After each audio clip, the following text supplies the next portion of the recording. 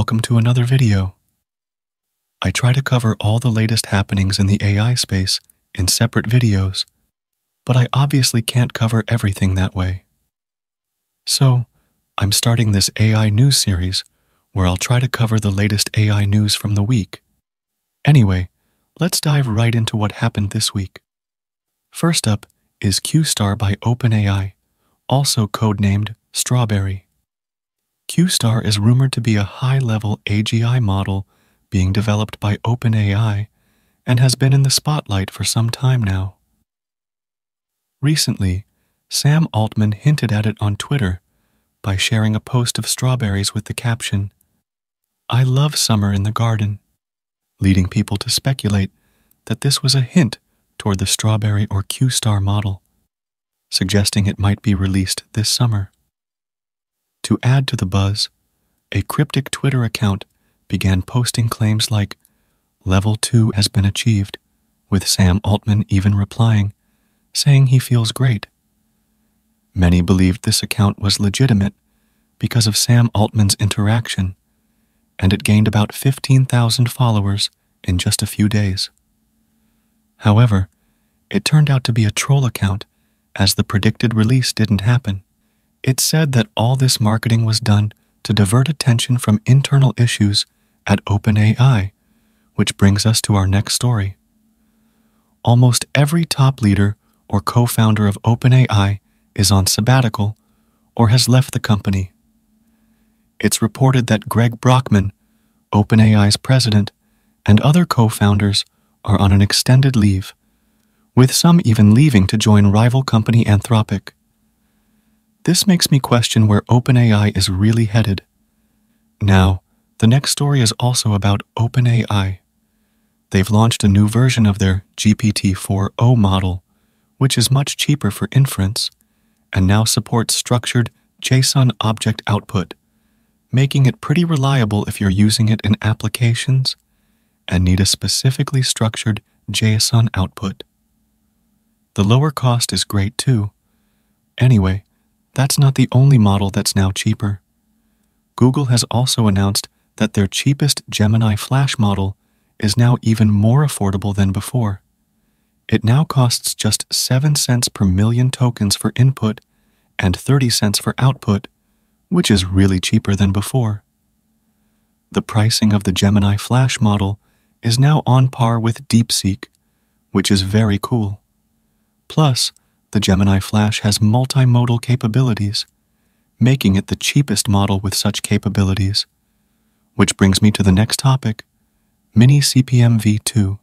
This is the new Mini CPM model that claims to outperform the GPT-4 vision model in single image, multi-image, and video understanding. It also outperforms GPT-4o Mini and Gemini 1.5 on OpenCompass, which is wild. This is a fully open source model and a very small 8 billion parameter model based on the Qwen 2 model. I haven't tested it yet because it isn't available on Ollama, which makes it unusable for most of us. If you want, you can go ahead and test it out and share the results in the comments.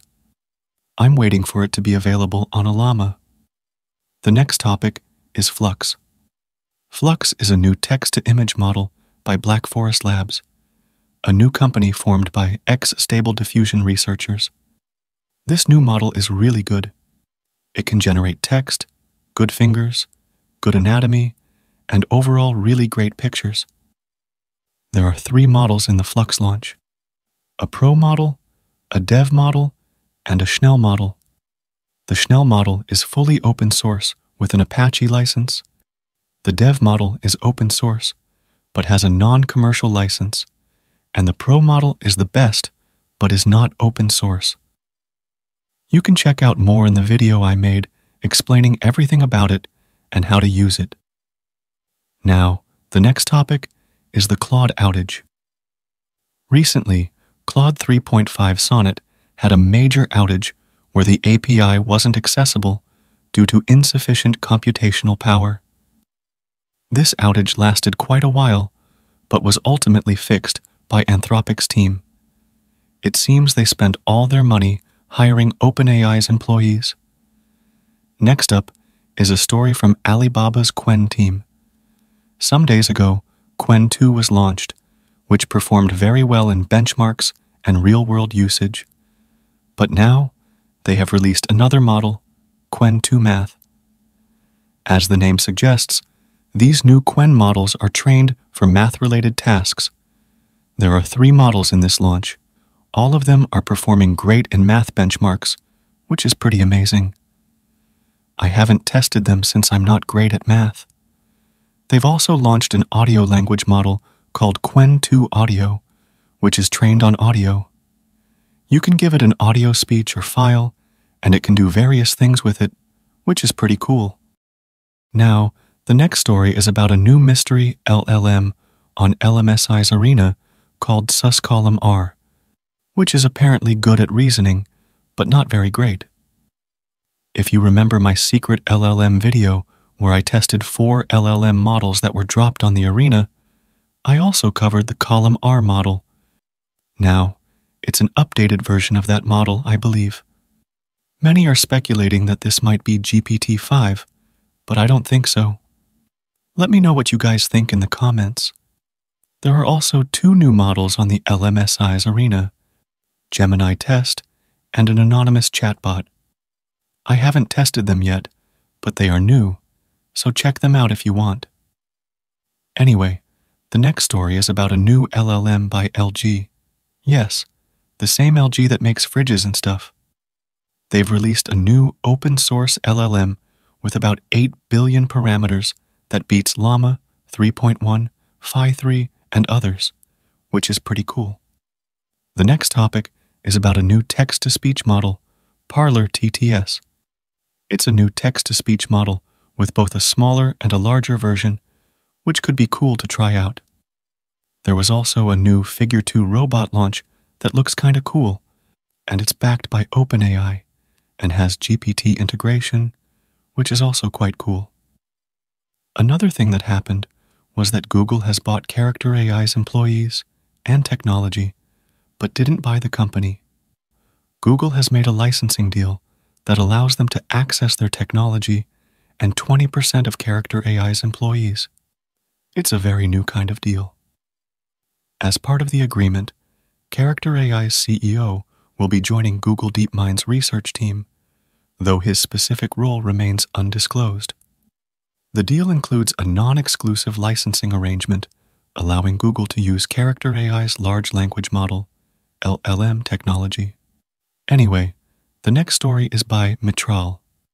They've launched their Agents feature, which allows you to create specific agents with custom system prompts, similar to OpenAI's custom GPT, which is also quite cool if you use their API or want to use it. Another thing that happened is that NVIDIA's Blackwell chips have been delayed.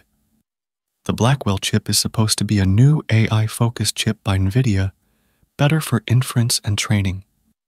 Microsoft, Meta, and Google have already ordered more than 50,000 of these chips, but they aren't able to get them due to architectural and production issues, which means NVIDIA may face some financial loss as well.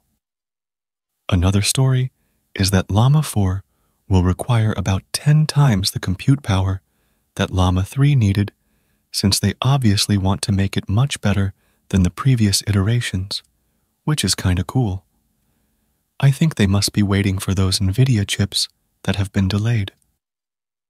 Another thing is that OpenAI released the model card for GPT 4o, showing details of its safety analysis. And it has been found that it's so good that people can get quite addicted to it and start forming emotional connections. They also found that sometimes GPT 4o can start mimicking the user's voice on its own, which is quite scary, to say the least. So, that's basically the latest and major news that I found this week. Also, let me give you the tool of the week. The tool of the week for me is Claude Dev and Flux.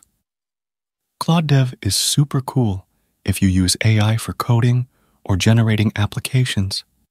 It's like a VS Code extension that plugs right into your VS Code, and you can configure it with Claude 3.5 Sonnet to generate applications and write code, which is kind of cool. You can check out my full video on it. Another tool of the week is Flux. It's the best image generator, and I'm almost using it daily. So, check that out as well. I have videos on it too. That's the gist of everything that happened this week. Overall, AI has been pretty cool this week. Anyway, let me know your thoughts in the comments. If you liked this video, consider donating to my channel through the Super Thanks option below, or you can also consider taking up a membership on my channel through the Join button. Also, give this video a thumbs up and subscribe to my channel. I'll see you in the next video. Till then, bye.